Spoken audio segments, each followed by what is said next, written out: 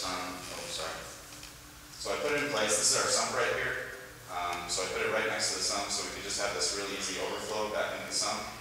Um, it's hard to see, maybe up here. Oh, so this is our header tank up here, this tank up above. And I just had a siphon that comes out of that, and that's the water coming into the tank. Um, so it's kind of scary when I think about it now, because if we lose power, um, that header tank, the water line drops, and then that siphon's broken. So in Florida, we have a lot of storms, and there's always the possibility that we're going to lose power, but fortunately, that didn't happen during this run. Um, we'll definitely be working to optimize this whole setup for the future runs, but, um, but yeah, so that day, put the eggs in the bucket, put this whole thing together, um, and then we stocked the eggs. And uh, over the next two days, I, I was planning on adding more eggs to it if we got them. It, it works for us just because um, this size tank, we haven't really been working with them before. But to get the numbers of eggs that we really want to stock something this big, volumetrically, um, we, we've been stocking several days worth of eggs. So it ended up that the following day I got 2,000 eggs, which was super disappointing. Uh, but then that third day I got 25,000 eggs. So I stocked that one as well. So we started this run with 50,000 eggs, um, which is kind of crazy. We've never stocked that many eggs in a tank before. Um, but yeah, so uh, same thing. So the, the flow rate, um, we had already talked with Chad. We knew about what we should be looking for in terms of you know turnover if we are going to try to replicate that. Um, I set this up so fast. I just turned the valve about halfway and went with it. And uh, we never touched it again throughout the run. And it turned out that we set 10 liters a minute, which is insane. Um, so it had 15 tank turnovers a day. So this thing was just cranking with water. Um, we had some moderate aeration there. Um, we followed their same lighting schedule. We, we had already been on a 14-hour lighting schedule, 14-10, um, but they had success with 16-8, so we just went with that. Uh, 28 degrees was the best that I could do. We have this very small AC unit that's, we're actually looking at upgrading that as well right now. But that thing's cranking 24-7 and 28 degrees is as low as I can get. Um, I'd like to be able to do lower, but. Um, and then the other thing that's interesting is down here, this nitrate. So our system is completely recirculating. Um, and nitrate builds, and we're inland uh, enough that we can't just dump the water. So our nitrates build and we have to deal with it. Um, but it, it, what, what's interesting about it and what I like about it is that for so long with this Tang, you know, puzzle, we always wondered if, you know, nitrates might be too high and that may be a problem, or um, our water source. We use, all, all of our water is instant ocean, um, so it's really cool just to be able to say that we were able to use something like that and have it work. Um, so this is a sort of rough outline of our feeding parameters. Um, it follows what they did in Hawaii very closely. Uh, we use the L-strain rotifer, and so you can see here um, in the early days when we first started feeding rotifers, um, we were size sitting them. Probably 90-95% of the culture sits up on like a 100 micron stream, so we had to have a lot of rotifers to be able to get uh, the densities that we needed um, that would go through that screen. So we're, we now actually just got from, from Reed, we got the S-strain rotifer that we're starting to bloom up and we're going to use that for the next run. Um, so we fed three times daily and that was actually probably more of a, um, a product of our flow rates because we would have liked to have followed more along the line of Chad's schedule, but uh, by noon, most of the food was already flushed out. Um, uh, our, our um, the algae that we were using to uh, to shade the water, we were using Tetraselmis and then Symbiodinium. It's uh, it's it, what is it? It's the algae that um, that you infect corals with. It's the, so, yeah, the zooxanthellae, sorry, yeah. Um, it's something that we have on site for a completely different project, working with corals. Um, but it was just an algae that we had enough of that we could use it for some shading. So I don't think it has anything to do with the protocol, but it's just, I'm telling you because we, we used it. Um, so, uh, we used two different enrichments as well, just like they did in. Our- Ours were a little bit different. We used OR1 um, as, an- as sort of a diet and an enrichment, and then we also used Algamac 3050. And then um, as they got older here, we started them on to enriched Artemia with Algamac. Um, so just to give you sort of a, a snapshot, um, I don't really have the entire larval protocol, um, but I just, I was going through my notes while I was on the plane, and, um, and these were the feeding parameters for just one day. Um, it was a lot of work, and looking over the notes gave me some anxiety. I think I put it out of my mind just how much work it was and how stressful it was and how awful it was. Um, so looking through the notes day by day was just, it's too much. Um, but yeah, so, so we were doing three feedings a day. We'd come in in the morning, we'd feed them parvo naps. Um, it was basically whatever we were harvesting. So we were just trying to push our cultures to the max and we would feed that out. Um, rotifers, we were a little bit more, well, we could do those a little bit better, so we were able to hit numbers that we wanted. Um, so we were, at, at 26 days, we were feeding 3 million. Um, the same, the general micro diets, um, that's just something that we had. But yeah, so just a, a very intense schedule is sort of the, the theme here.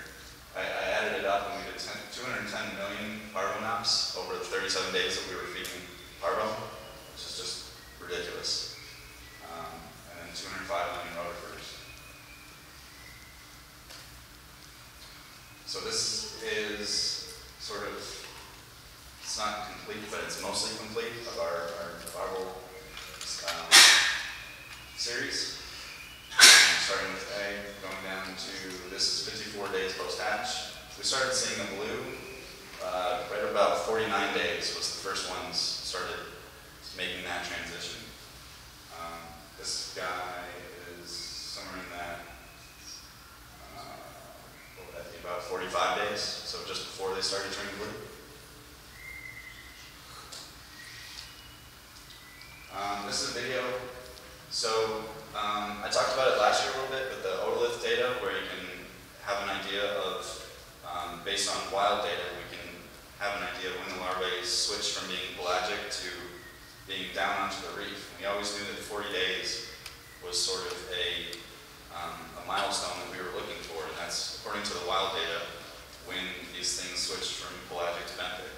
Um, and what we didn't know is that they would be clear when they did that, but it makes sense that they do that first and then they switch, they start to color up. But, so for this run, we, we knew that date, we had it in mind, it was July 4th. Um, and I went into work that day and peered over the edge of the tank, and I didn't see the larvae up the surface like I had been for the past 40 days, um, which freaked me out because they're supposed to be there. And uh, peered farther, didn't see, you know, little silver sides on the bottom of the tank, which would be, you know, dead ones. So I was okay, um, but I still couldn't find them. And as it turned out, um, the way that the tank was set up, um, so we put we put some uh, some coral structure in there for them, um, the same idea as what they did in Hawaii, uh, but they never really seemed to be interested in it. And what you're looking at here is the inlet pipe for the tank is right up here somewhere, four feet up, obviously. But the water shoots straight down, and this is that corner of the tank where the water's hitting. And on that 40, 40th day, um, I found a, a little pile of larvae, about 15 of them, that were all sitting right underneath the flow, just picking off food as it's coming down in the flow. So they really just seem to love that, that water movement. and It's like a, just a food delivery system for them.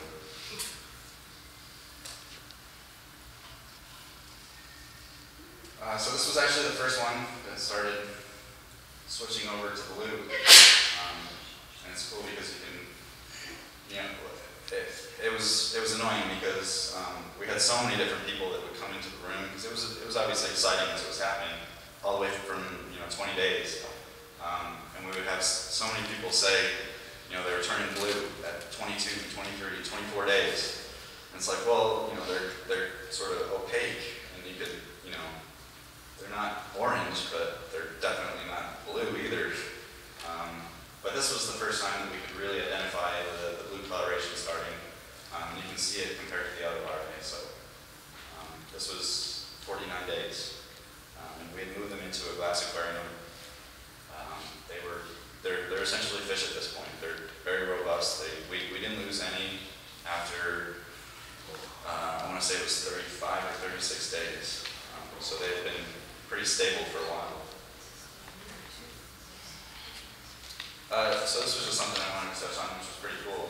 Um, so that was 49 days when we first started seeing just a little bit of blue. But, and, and that was a Friday, and then I came back in on Monday and I put, um, that, the most blue, I put it in a photo tank and started snapping some photos of it. And I was trying, you know, with flash, without flash, all sorts of different things. And I started out without a flash, and that's, these were the photos that I was getting, that's about what I was seeing with the naked eye. And then, um, I turned the flash on, and this happened. And I looked down at my camera, and I was just blown away, because that's not what I was seeing with the naked eye at all. Um, all that blue on the backside of the fish was just not there. And so we started looking into it, and um, basically this blue pigmentation, it's what's known as structural coloration, or it's like iridophores. Um, so they're uh, basically they're like cells that reflect like mirrors, um, and in, in this case, they specifically reflect that blue light, um, and everything else just passes through. And it's structural because the cells develop in layers. So what we were seeing here was some of the very first layers starting to develop. And so in, without the flash or without that real bright light, they would, you could see right through them. But if you gave it enough light with that flash, all those little cells flashed back blue. So it was really cool. I took the photos over to the computer and I showed my boss and he thought I was using Photoshop. so he had to go see it for himself. Uh, this is just a photo that I took.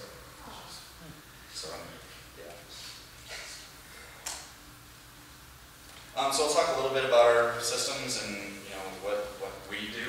Um, it's very similar to what they're doing in Hawaii. It's Our, our copepods in particular, it's on a smaller scale though. Um, this, this room is, has a, has a normal door to it. And so we could only bring tanks in as big as what we could fit through the door. So that's why we have the tank size that we do. Um, so if you can see back here, this is sort of a um, adaptation of what they're doing in Hawaii in terms of uh, the culture method. So this is our little uh, tank that we're using. He's got it flipped upside down right now because the run is over and he's starting to clean things up. We were we basically limped to the finish line with this run, so to speak. I mean, we were pushing our systems to the max to try to get everything that we needed. Um, so we're in a recovery mode right now. Um, but yeah, so we adapted that, that technology. It worked really well for us. Um, the, my favorite part about it is that I come in in the morning at 8 o'clock and the nauplii are already, already ready to be fed out to the fish. Um, so the light isn't on for hours while we're trying to collect over, you know, with the, the air lift collectors or something like that, taking time um, where the fish just have nothing in the water to feed on. Um, so as you can see here, um, before I left for France, um, Eric had start, started adapting this technology. He's rebuilding his whole copepod system around it. Um, so we had all this filtration out of the room, and then I came back, got this huge spawn, and we said, we're moving on. So this is still there, all of his stuff. He basically tore his room apart, and then he hasn't been able to build it back together. Um, so we've just been working in sort of a crazy environment for a while. Um, yeah, so like I said, all of our, all of our water, our water source is RO water that we mix instant ocean. Um, so it's really great to validate that there's nothing wrong with using instant ocean.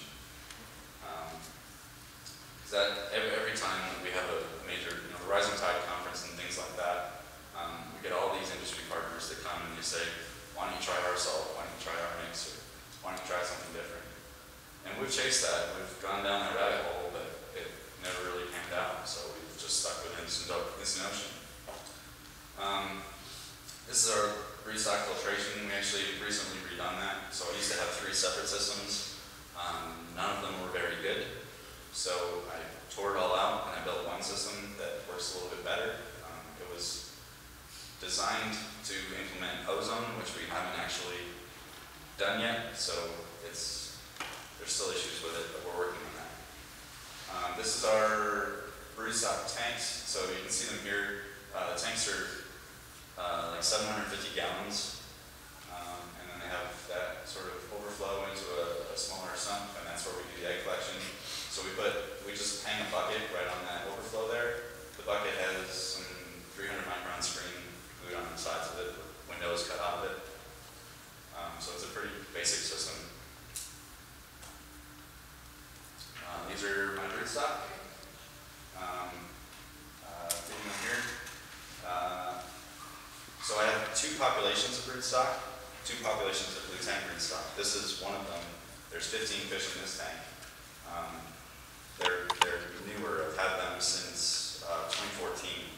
We get them in at about 10 centimeters, which is based on literature that's uh, about 10 months old, and it's also sexually reproductive. Uh, 10 months um, for this species is the egg production isn't quite what it is with an older fish, but they are sexually reproductive that early. Um, so we've had these guys for a couple years now, and then I have another population of just three fish, and those three fish are the ones that produced all of the eggs for the run that we did. Um, so it's one male, two females, so everything came from three fish. Um, so most of you in the room now know this guy, Larry Pont. Um, he approached me in 2014. Uh, he was this crazy guy with this crazy food that he said I needed to try. So I started using it. Um, and as of now, it's the only thing I'm feeding to the blue tang broodstock. Um, it's super convenient, like Andy was talking about. So, you know, for me, we, we have two people that are intricately involved in this project, and I don't really have time to sit there and chop a whole bunch of seafood. And the other thing is, he's got so much stuff in there that if I wanted to add something to their diet, it's probably already in there. So I just go with it, and it's worked pretty well for us. So. Um, and then the last thing is just, you know, we're not done yet. So uh, our, our facility, the Tropical Aquaculture Lab, we sort of have a, a reputation in the area, more so with the freshwater side of things, of um, being able to complete species that have never been raised in captivity before, but then be able to figure out how to transfer that technology to industry. Um, it's something that they've done for a really long time, and we plan to do it with this species as well. Uh, so that means repeating it a lot, um, refining the protocol, um, and we're really excited about it because, I mean, the fact that we were able to do this as quickly as we were from what we learned with what they're doing in OI, um, we think the potential is definitely there. Um, we learned a lot about the different bottlenecks in their development. Uh, we learned a lot of the mistakes that we made, now have something that we can use to move forward and try to improve on it. So, and this was cool too. So I was, this was actually took this on the plane, but I was going over. These were Eric's feeding notes. And somewhere along the way during the trial, he actually wrote this. This was our best run, and turned out to be more than just that. So it was pretty exciting. And that is it. Yeah. So contact information if you guys want to reach out. Um, obviously, we're still in the infancy of knowing what we need to do to move forward with this, but um, if you have any questions, feel free.